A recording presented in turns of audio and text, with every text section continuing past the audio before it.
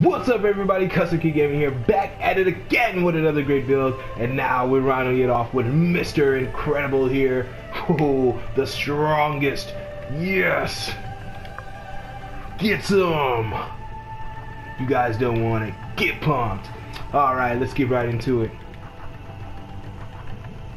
Now, I went with this hair, because I feel like that was better, I could have went with the one I did with Dash, that goes straight slick back, but I went with this one. Straw jaw. Um, the eyes, the nose is number five, so he has a real like uh, yeah box nose, if you will. So yeah, you can see the nose is number five. Real uh, big chin, um, blue eyes, and the eyebrows right before you have no eyebrows. so yeah, I get them confused. Seven or eight, things like that. Um, tall, buffed, maxed out I used the Ginyu this time. You can also use the Pilot if you want to. It just doesn't have a symbol. I mean, I used it back. I mean, because I made Dash way back when. So I used the Pilot with Dash, but because you know, I just that's what I did. But I'm gonna use this because it has the symbol, and I don't care about the guns.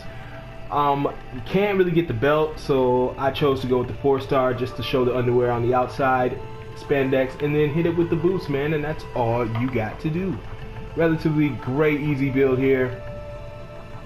Um, let's see what else we got. Yeah, that's about it. Let's see. As far as moves, he is strong powerhouse. So, I went with like sledgehammer, arm crash, and arm crash does break stamina.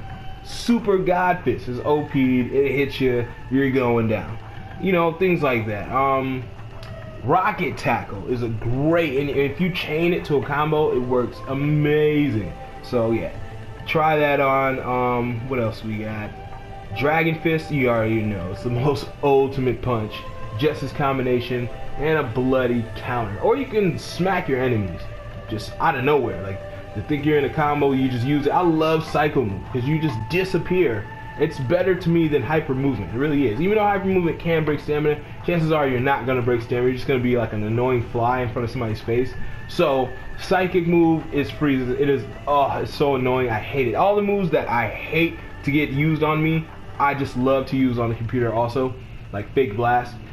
And they happen to be Frieza race characters, which is wild. So psychic move, man. And there we go. We got Mr. Incredible in the house. That man, you know what I like?